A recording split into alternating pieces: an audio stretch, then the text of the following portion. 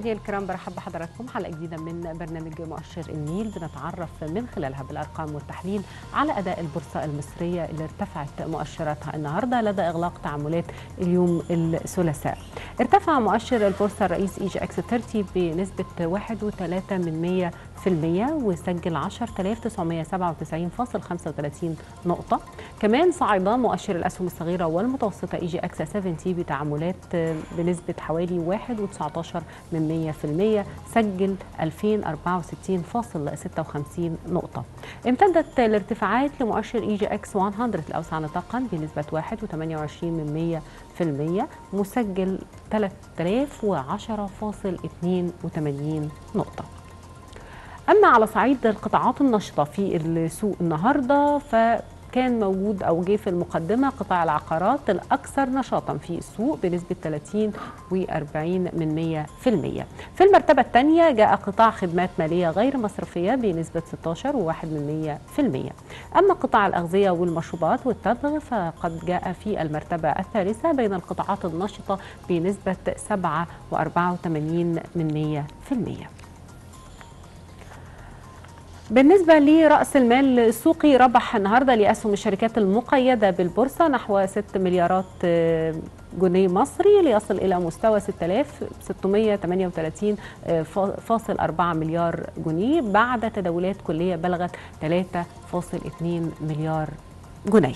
خلونا نتعرف أكثر على مزيد من التحليل والمتابعة لأداء البورصة من خلال ضيفنا اللي منورنا في الاستوديو أستاذ محمد عبد الحكيم الخبير بأسواق المال. برحب بحضرتك معانا النهارده يا فندم. واسمح لي بس نخرج لتقرير ونرجع نبدأ لقاءنا مشاهدينا الكرام تقرير ونرجع لحضراتكم. في جلسة منتصف الأسبوع سجلت مؤشرات البورصة المصرية ارتفاعا جماعيا قويا في دلالة على الحركة الصعودية لأغلب أسهمها خلال التعاملات. البورصة تأثرت بعمليات شراء قوية من المستثمرين العرب. قابلتها عمليات بيع من جانب المستثمرين المصريين والأجانب لم تفلح في تحويل دفة المؤشرات نحو الهبوط. وربح رأس المال السوقي لأسهم الشركات المقيدة بالبورصة نحو 6 مليارات جنيه. ليصل إلى 638 مليارا و495 مليون جنيه. بعد تداولات كلية تجاوزت الثلاثة مليارات و100 مليون جنيه.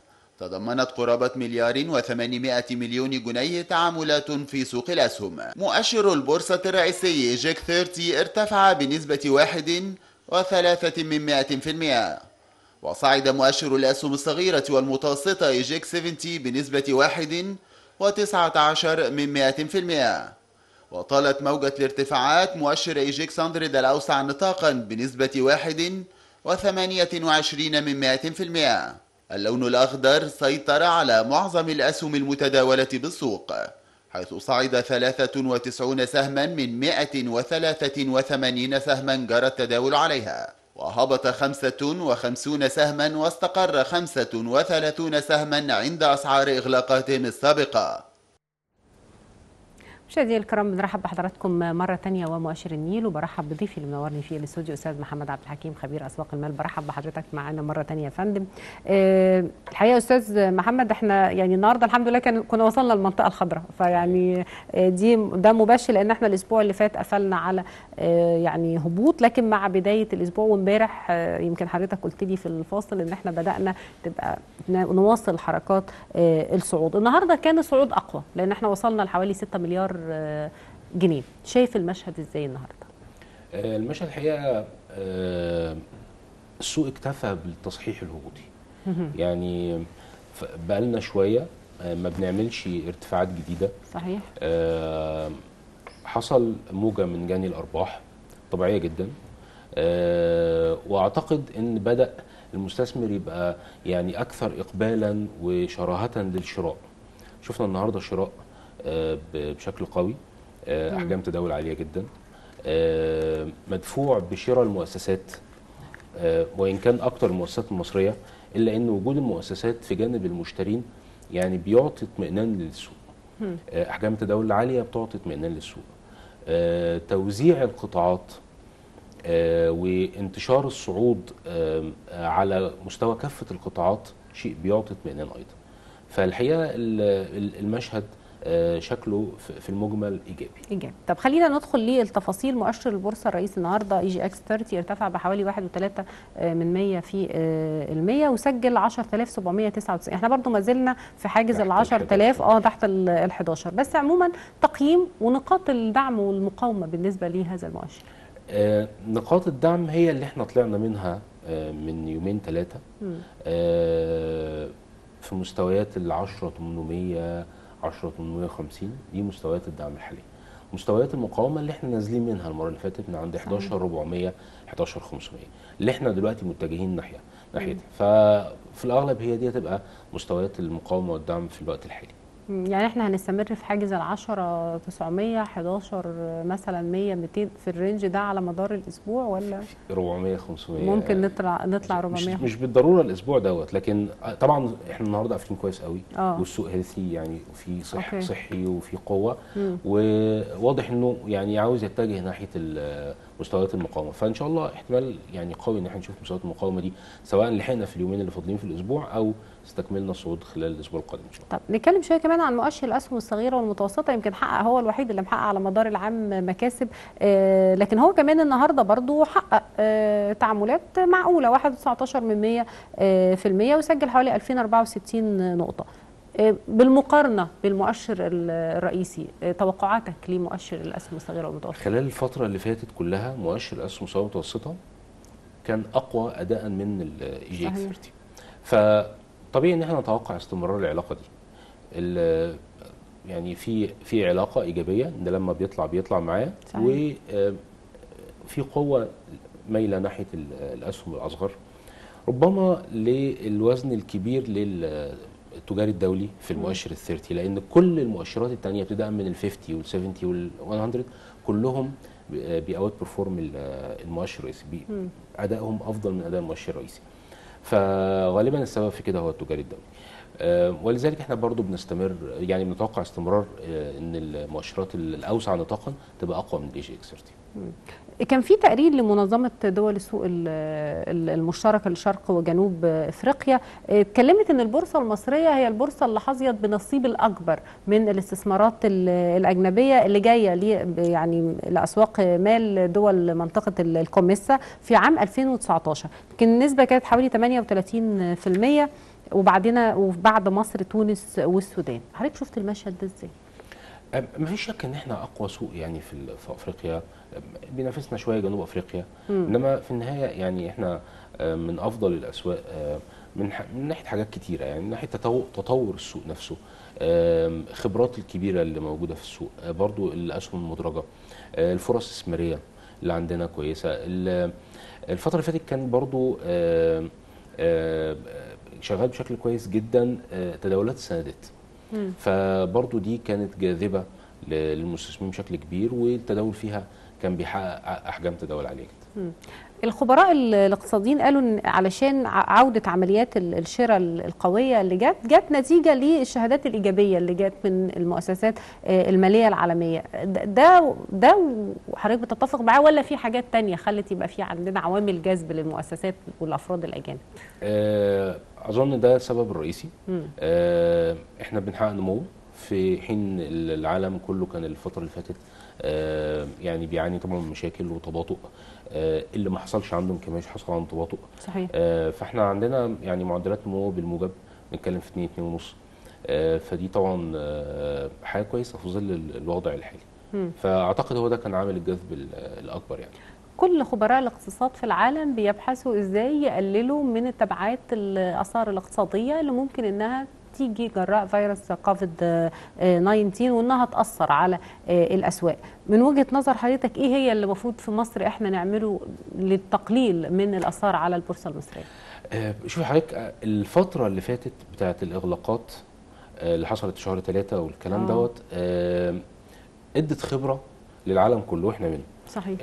إزاي نقدر نتعامل مع الوضع ده وما ندخلش في مشاكل اقتصادية كبيرة بسبب الإغلاقات دي. أعتقد إن حتى العالم كله النهاردة مش رايح قوي ناحية الإغلاقات. صحيح. حتى لو في بعض الآثار الجانبية إنما وده إحنا اتكلمنا فيه يعني في وقتها وقلنا إن يا جماعة آه، الإغلاقات هتبقى مشاكلها كبيرة جدا جدا جدا على الاقتصاد. فأعتقد الدروس اتخذت واتفهمت كويس آه، وم- وما أظنش إن إحنا هنشوف نفس التعثرات.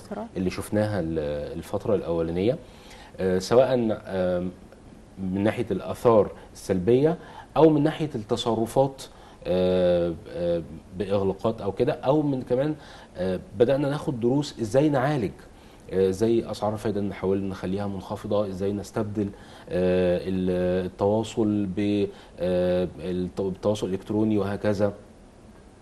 يعني شوية في شوية إجراءات اتعلمناها كويس وأعتقد هتبقى مفيدة جدا الفترة اللي جاية وبالتالي الأثر إن شاء الله مش هيبقى كبير. طيب خليني نتكلم شوية عن سعر الدولار لأن إحنا عندنا على مدار عام 2020 يعني من من بداية العام لحد النهارده حوالي 40 آه، قرش خسارة آه، أمام آه، الجنيه المصري.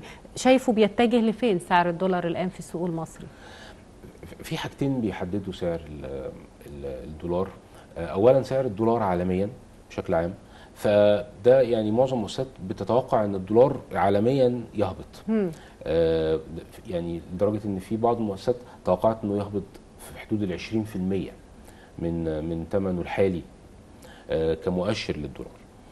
آه، عندنا في مصر آه، أعتقد في زي إيه دول ممكن الدولار يتأثر إن هو ينزل انخفاضات أمام العملة؟ الدولار بتاعته؟ إندكس الدولار إندكس بيتكون بشكل أساسي من ال- اليورو آه والذهب وبعض العملات وبعض العملات التانية. آه فأظن هي دي هتبقى يعني المحددات الأكبر وزن وزنا آه في موضوع نزول الدولار. تمام. آه، عندنا في في جوه مصر آه، أعتقد شوية البنك المركزي آه، بيحاول إن هو يظبط إيقاع سعر الدولار علشان آه، الآثار الجانبية. سواء من تضخم أو من تدفقات لاستثمارات أجنبية أو كده. ولذلك أنا يعني مش بتوقع إن يبقى في تغير كبير في سعر الدولار خلال الفترة اللي جاية. نتكلم شوية عن الذهب اللي كل ما الأمال بتزيد في وجود لقاحات لفيروس كورونا أو حتى الانتقال الثالث للبيت الأبيض. يعني الظروف بقت في أمريكا خاصة بعد التعاون اللي أبداه الرئيس الأمريكي دونالد ترامب بالأمس لتسلم السلطة. فالنهاردة الذهب بيوا- بيواصل آه، هذا آه، التراجع. ده هيأثر على السوق؟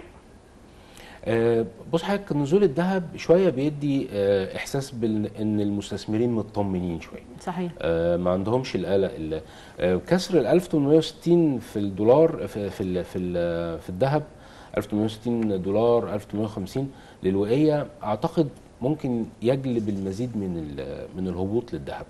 وده شيء إيجابي للمناخ الاستثماري بشكل عام آه، في العالم كله. يعني الناس بتخرج من الذهب معنى كده إنها بتدخل في آه، آه، مصادر آه، استثمار أخرى أو يعني أوعية استثمارية أخرى ومنها طبعا الأسهم. فده طبعا إحنا يعني بيبقى مؤشر إن إن شاء الله ممكن الفترة الجاية تبقى يعني إيجابية. خام برنت إحنا عندنا من مارس وهو بيسجل أعلى مستوى وخصوصا إن في دعم من وجود زي ما حضرتك أو قلنا بالنسبة للذهب إن في لقاح وفي انتقال. آه، بقى في ضوء أخضر لجو بايدن للانتقال للبيت ال- الأبيض. توقعاتك للأسعار؟ بص حضرتك آه، طبعا آه، كنا متفائلين شوية يعني آه، كوننا متفائلين آه، بالنسبة للاقتصاد العالمي أكتر من الفترة اللي فاتت فده طبعا بيخلينا متفائلين بشأن آه، سعر البترول. إنما البترول غير الذهب شوية البترول ليه حدود عليا. بعدها بيحصل تشجيع لمنتجين خصوصا منتجي النفط الصخري اللي هم بيبدأوا أرباحهم تشتغل ابتداء من 40 دولار لغاية 50 دولار. فموضوع إن إن إن نتوقع أسعار للبترول فوق المناطق دي أظن هيبقى صعب شوية لأن آه، كل ما السعر هيطلع شوية كل ما هيبدأوا منتجين كتير لل- لل- للبترول الصخري يش- يشتغلوا يشتغلوا أكتر. خاصة في أمريكا صحيح. وده هيكتر المعروض. العرض بالظبط كده فيعني ده بيخلينا شوية ما نتوقعش أسعار أعلى من كده وبرده ما نتوقعش نزول كتير آه، باعتبار إن احتمال إن شاء الله الطلب يتحسن وتبدأ معدلات النمو في العالم كله تتحرك وبالتالي هيكون حافز قوي للطلب على البترول.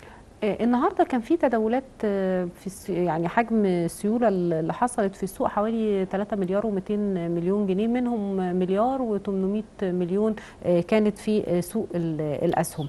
حجم التداولات الحالي شكله إيه وتأثيره إيه؟ كمتوسطات الفترة اللي فاتت ممتاز تمام آه يعني إحنا أعلى من المتوسطات. بتاعت الفترة اللي فاتت آه ودي حاجة إيجابية جدا و يعني بتخلينا برضو عندنا آه توقعات إن هندخل على مستويات المقاومة اللي هي في حدود ال 11 400 11 500 بقوة ويبقى عندنا آه توقعات أقوى إن إحنا نكسر المستويات دي ونتخطاها إن شاء الله. آه، المستثمرين المصريين والأجانب اتجهوا ناحية بيع ال- الأسهم. العرب اتجهوا نحو الشراء تقييم أداء الأطراف الثلاثه الحقيقة آه بهتم أكتر بنوعيه المستثمر مش المستثمر. جنسيته. صحيح. آه يعني ب... ب... ونوع الاستثمار. آه صحيح. فشوية بدي وزن أكبر اللي هو ده مؤسسة ولا فرد. فكون النهارده ألاحظ شراء آه، صافي شراء لل- للمؤسسات مع ارتفاع السوق الكبير يعني طبيعي إن لما بنشوف السوق طالع بنبيع. صحيح. لا السوق طالع جامد والمؤسسات المصرية آه، صافي شراء فده يعني بيدي اطمئنان. حتى وإن كان المؤسسات الأجنبية صافي بيع قليل. لكن آه، المؤسسات بشكل عام كانت صافي شراء ودي حاجة إيجابية. أنا بشكر حضرتك جدا أستاذ محمد عبد عبد الحكيم الخبير بأسواق المال. شكرا جزيلا حضرتك شرفتنا ونورتنا. مشاهدينا الكرام بكده بنكون وصلنا لنهاية برنامجنا مؤشر النيل. آه، يا رب نكون قدرنا نقدم لحضراتكم بعض المعلومات والتحليل لأداء البورصة المصرية اليوم اللي أغلقت النهارده آه، على ارتفاع وصعود بعد الأسبوع اللي فات من الانخفاض لكن بادئين إن إحنا نرجع تاني للمنطقة الخضراء في البورصة آه، المصرية وتداولات الأسهم. خلونا نتابع مع حضراتكم بكرة إن شاء الله أسرة جديدة من حلقة جديدة من برنامج مؤشر النيل شكرا ليكم وإلى اللقاء.